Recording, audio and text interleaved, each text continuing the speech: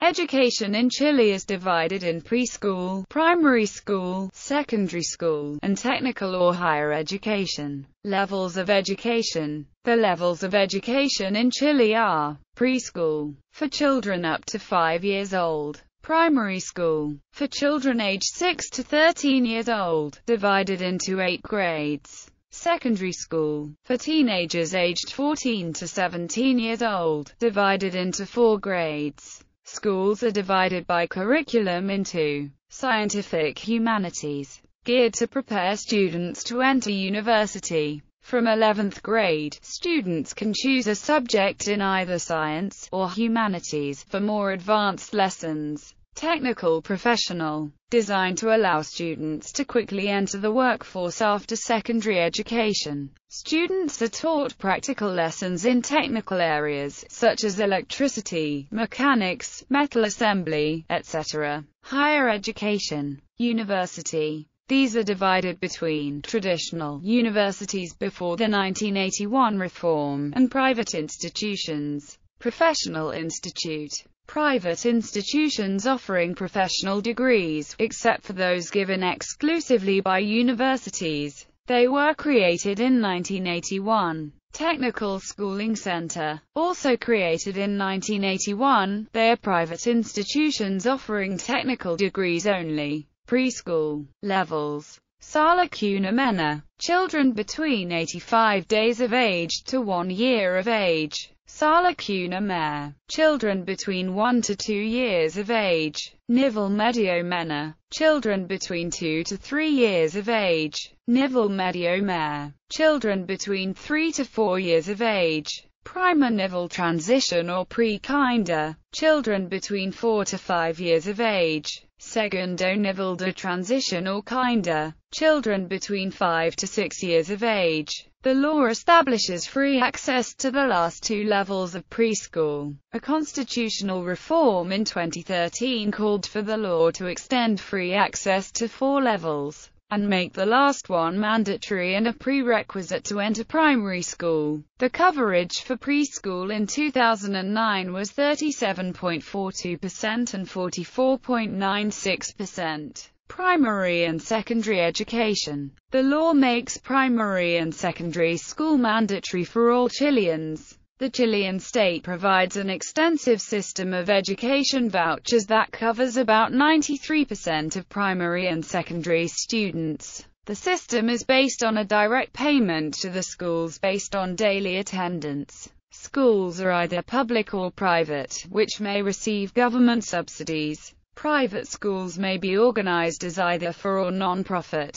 In order to receive public funding, private schools must reserve 15% of seats in each class to students classified as vulnerable. Schools receive extra funding for each vulnerable student they enroll. Primary The 1965 reform established primary education as the initial cycle of schooling. Before that, by 1920, Chilean legislation had established four years of minimum mandatory education. By 1929 the minimum had been increased to six years. In 1965 primary education was extended to eight grades, ideally designed for ages 6 to 13. Secondary Secondary education is divided between scientific, humanist, technical professional and artistic, all lasting four years. The first two years are the same for the three kinds of schooling, while the third and fourth years are differentiated according to the orientation of the school. The schools offering technical professional programs are denominated industrial schools, electricity, mechanics, electronics, informatics, among others,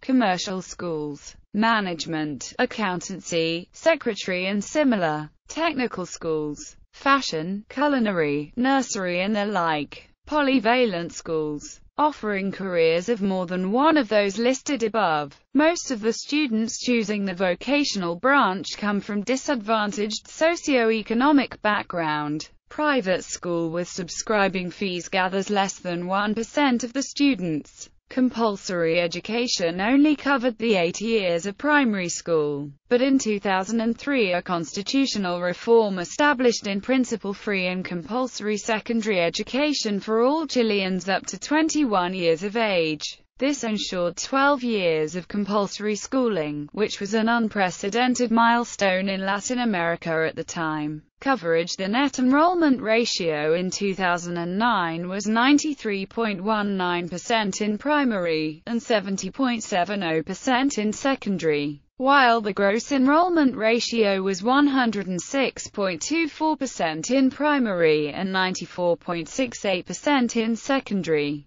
costs voluntary tuition public schools and subsidized private schools may charge a fee for the selection process, an annual price of enrollment and a monthly tuition fee, which is voluntary for the parent. Enrollment and tuition fees are forbidden in pre-primary and primary school in these institutions. A fee to the so-called Parents Center is voluntary and cannot be higher than 0.5 UTM a year, which was CLP $19,143 in 2011. Mandatory tuition Public schools and subsidized private schools have the same selection and annual enrollment costs as in schools with voluntary tuition, but they are allowed to charge a mandatory monthly tuition, which cannot be higher than for use. This was equal to CLP $72,763 in 2011 in both primary and secondary school. A parent's center fee is the same as in schools with voluntary tuition. Non-subsidized private schools are free to set the price, which may include enrollment and tuition costs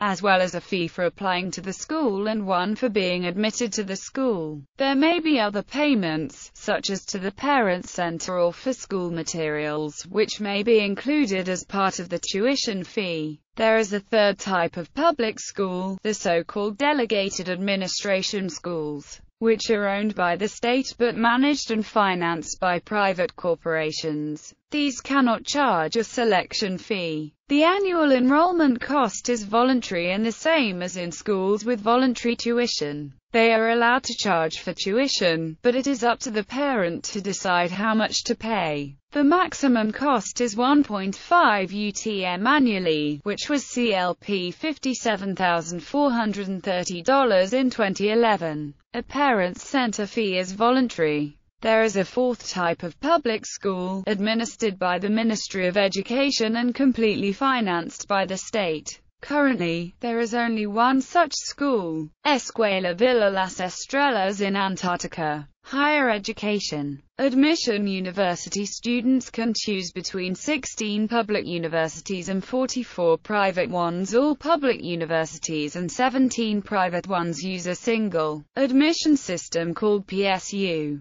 designed and evaluated by the University of Chile, and consisting of two mandatory exams, one in mathematics and one in language. There are also two additional specific exams, sciences and history, which may be required by some undergraduate programs. The cumulative grade point average achieved during secondary school is also taken into account in the final admission score, as well as the student's relative position in his class and two previous promotions. Every university assigns different weightings to the results of the various exams for the various programs offered.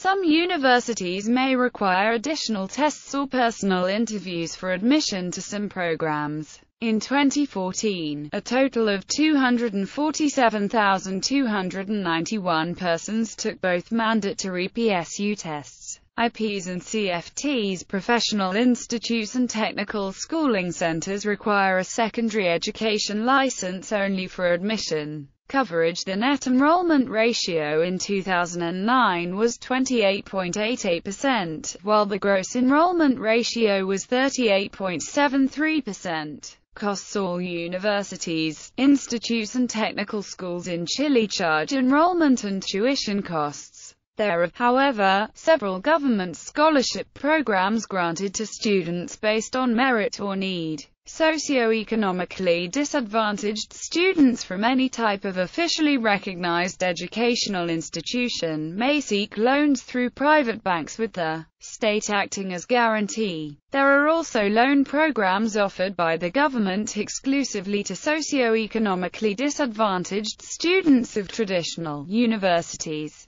These loans, private and public, have a fixed interest rate of 2% and must be paid back by the student after graduation. For CAE loans, the payment is equal to 10% of the former student's annual wage, and 5% for FSCU loans. The debt is written off after 15 years for CAE loans, and 12 for FSCU loans. Most scholarships and loan programs offered by the government only cover a reference annual tuition cost calculated by the government for each program. The gap between the reference and the real tuition cost can be substantial at some private educational institutions. Students are required to maintain a certain level of academic achievement to keep the benefit, which may vary from institution to institution. There are also government-funded programs giving students a monthly stipend, a debit card to buy food, and a student card to pay for cheaper transportation. All programs are based on merit, need, indigenous background or geographical residence.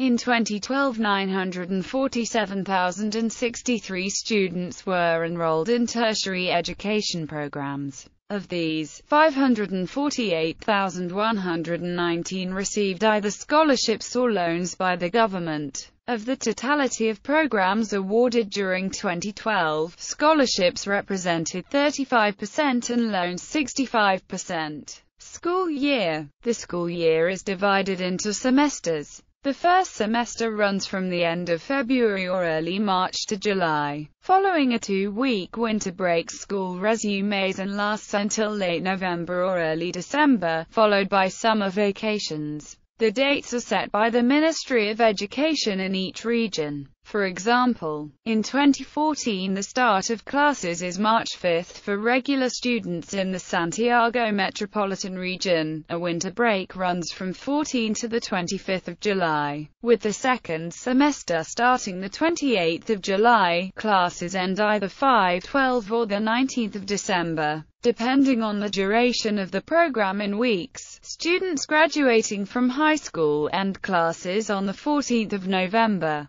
giving them time to prepare the university admission test. Education reform. Chile as of 2014 update is undergoing a significant reform to its publicly funded education system. One of the first proposals sent to Congress include the banning of mandatory co-payments, the removal of existing selection processes and the conversion of for-profit schools into non-profit organizations. Another proposal is to provide free tertiary education to students in the poorest 60% of the population. This would apply to students of traditional universities and of accredited and non-profit technical schooling centers and professional institutes.